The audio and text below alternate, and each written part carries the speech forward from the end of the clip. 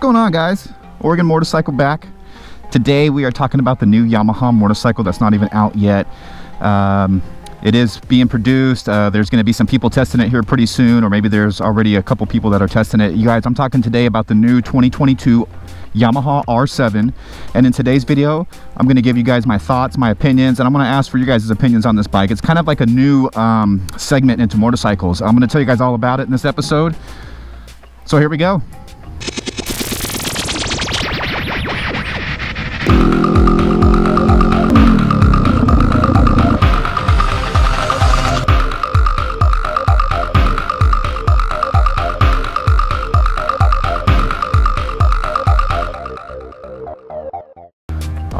So what better bike to go talk about the new Yamaha on than my Yamaha? And that is the YSR. All right, what's going on, everybody? It's a Friday afternoon, and uh, let's see, get this thing started here. Turn my fuel on, ignition's on, clutch in. Gotta love that first kick stuff. Woo! All right, let's go. So yeah, uh, it's Friday. It's a little gloomy today, but it's it's not that bad of a day here. Woo, yeah, here in Oregon City. but uh, you know what? I'm out of weed. So we're gonna stop by the weed store right here. I'm gonna show you guys my favorite weed store or marijuana shop or dispensary, whatever you guys call it. Right here in Oregon City.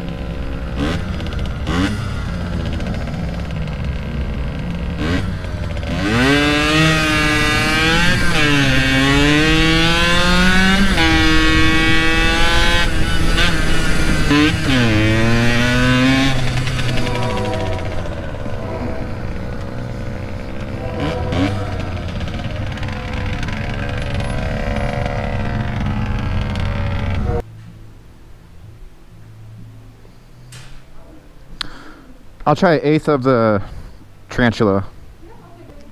I want to get some edibles. Yeah. So my buddy came in here and he bought some like some gummies. I don't have no idea what they were. No, there was a bunch in a package. I think it was like darker color, maybe blackish. And they look like little crosses. No, I'm good. Awesome. Thank you, you too.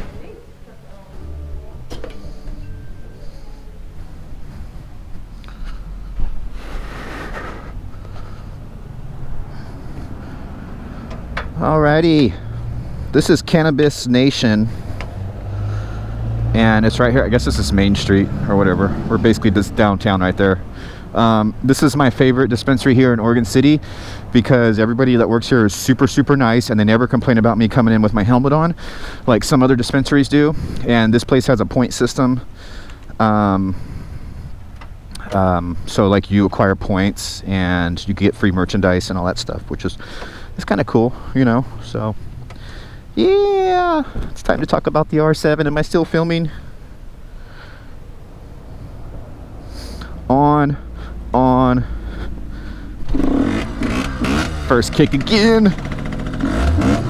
Yeah, two smoke, baby. All right, where should we go? Where should we go?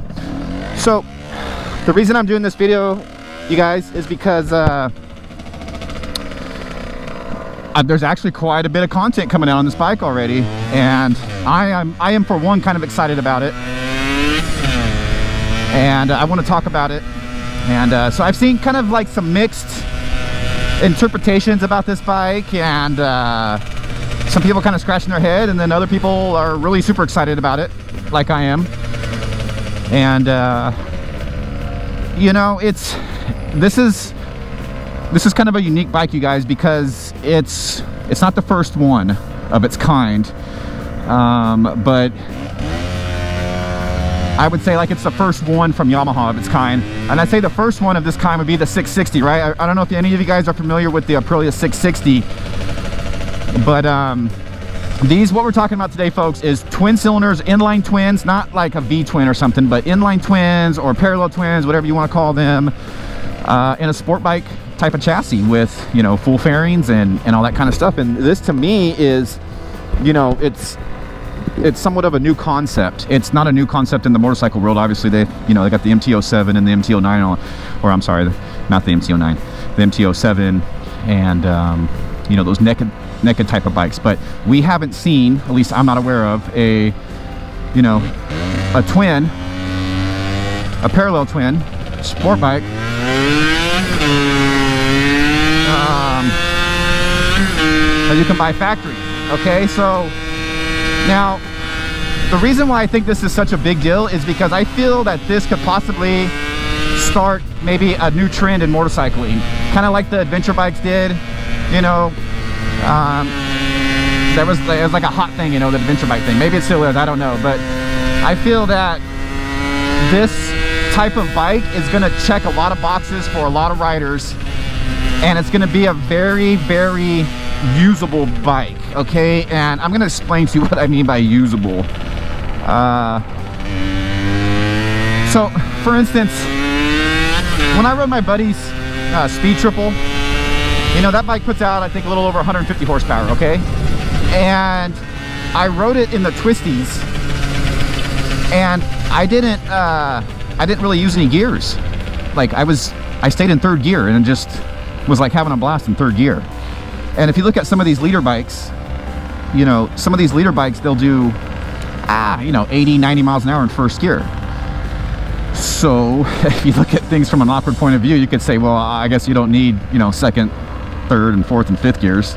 You just run around all day in first gear and like still have plenty of room left to speed just by using first gear. And that's what I mean by it's not usable on the street. And I think, so this is my opinion, guys. Just remember, these are all my opinions. Don't start getting all butt hurt and everything the thing with these like this this fad going on right now where we have these 180 horsepower and these 200 horsepower bikes and people just sitting there drooling over them you know it uh it's it's nonsense so it's simply there to have a street legal bike that has that kind of power that's simply for bragging rights you can't use 200 horsepower on the street and you guys can barely use 100 horsepower on the street okay so when we start looking at these bikes and we're like, oh man, the new R7, it's barely got 70 horsepower. What am I gonna do with that thing, you know? And you guys know from watching my videos that it's not about horsepower, it's about skill when it comes to street riding. And that's what this bike's designed for. It's designed for street riding. And um, I feel like this is a bike that you can actually get out and use properly on the streets and have fun with it. And at the same time, this bike is coming in under $10,000. I think it's MSRP and right above nine, which is, in my opinion, spectacular. I was keeping my fingers crossed it was gonna be under 10 grand because, yeah, I might entertain the idea of uh, picking one of these bikes up actually. I am gonna be most likely purchasing a sport bike um, after my Honda's paid off. And I've got three on the list right now, and this bike's on the list. So, and it's after I've done a little more reading on it and it's like a little bit higher on the list now, you know. So yeah, guys, this bike's putting out just over 70 horsepower and just right at 50 foot-pounds of torque. And if you guys want to compare this bike, I know some of you guys are trying to compare it to the R6 and it's, you know, I, I feel it's kind of in a different realm. Bright. Uh, it's not really in the same class of bike. So I think kind of comparing the two is not really you know, I don't think it's a good comparison to tell you the truth. Uh, completely different engines. Uh, you could say completely different chassis. You know, and it's just a, it's a different setup. The R7, you guys, is a street bike. The R6 is a race bike. You know, I had one. They're awesome bikes. I would love to have another one, but they're not really that usable on the street. And that's kind of what this video is about is like a motorcycle being usable on the street. And I truly feel that the R7 is going to be 100% usable on the street. It's going to be a bike that you can get on and ride fast and keep up with people and have the power to do what you need to do on the street. But it's not going to be some monster that costs $25,000 that you're going to cry when you drop it. You know what I mean? Um, this is a bike you can just get out and, and just just ride it till the wheels fall off. You know, that's kind of what I'm getting getting out of this. Um, if it's a bike that I buy, I would seriously just ride the wheels off of it. That's all I would do. I wouldn't care. And I wouldn't care if it got scratched, dropped, crashed. I wouldn't care. Now, on the other side of this, it's kind of funny because I was talking to another YouTuber about this today. You know, if I were to buy a, a Ducati V2, which is on my list, I wouldn't ride that bike the same. I'm just, I'm gonna tell you right now. You know, I just, I just wouldn't ride it the same. And you know, maybe some of you Ducati owners could chime in. Maybe you guys own a Yamaha and a Ducati. Do you guys ride your Ducati the same as a Yamaha? Or do you care? I mean, I don't know. I think I would baby my Ducati a little bit more and be a little more concerned with dropping it and whatnot. And be more concerned with keeping it clean and nice and shiny and stuff, you know. And, um, you know, a Yamaha's a Yamaha. it's just a run-of-the-mill motorcycle. Uh, they're great bikes. But a Ducati, I think, is something special.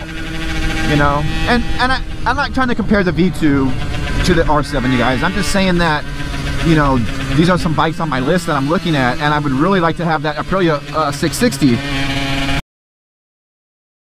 But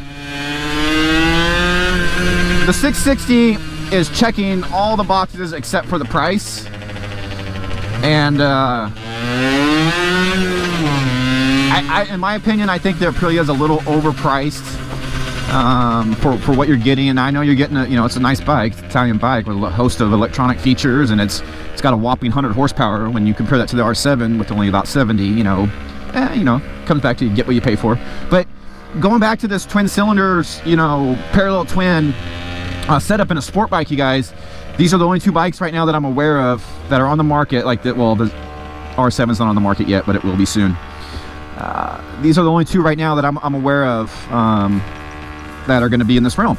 And these are, you know, just like I said, these are just my opinions about how this bike will affect the market and, and, uh, you know, be better for motorcycling in general because we have these options, you know, that we can, that we can hop on because like, think of a, a guy that wants to get into motorcycling, he wants to go buy a sport bike, right? And let's just say that he's dead set against an R3. Well, the next thing to, uh, you know, the, the next step up would have been the R6 or, you know, the R1.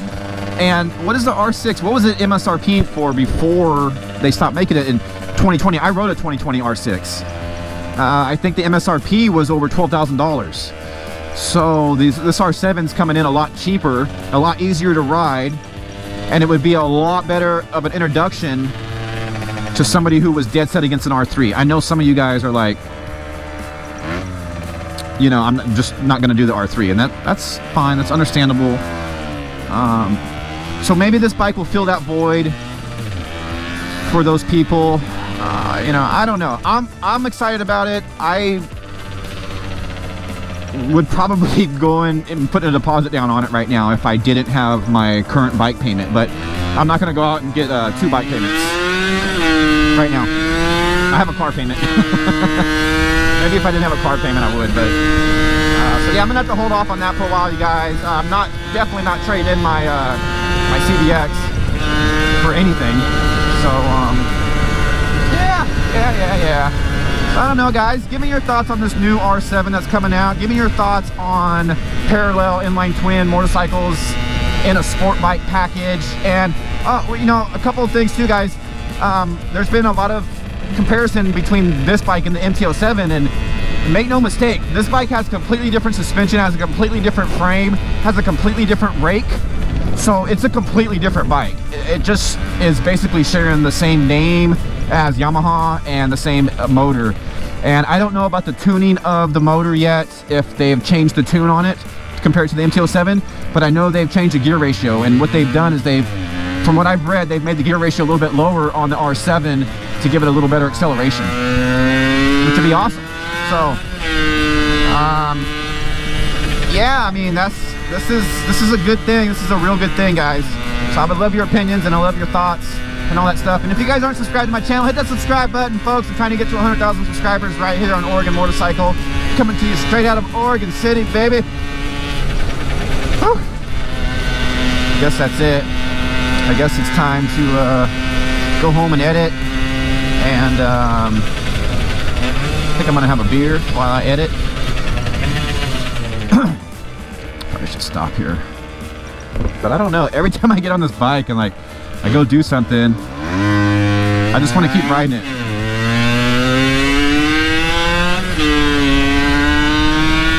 But I got things to do. So until next time, folks, Oregon Motorcycle.